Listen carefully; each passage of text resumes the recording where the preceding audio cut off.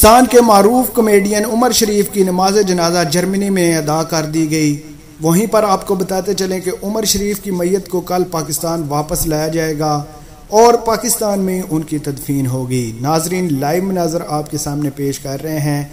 उमर शरीफ की dead body के ये लाइव मनाजर हैं। ये जनाजे से कुछ देर पहले के मनाजर हम आपके साथ शेयर कर रहे हैं। नाजरीन, आपको बताते चलें कि 2 अक्टूबर सन 2021 को मरूफ कमेडियन उमर शरीफ इंतकाल कर गए थे। अल्लाह पाक से दुआ है कि अल्लाह पाक मरहूम की मगफरत फरमाए और उनके घर वालों को सब्र जमील अता फरमाए।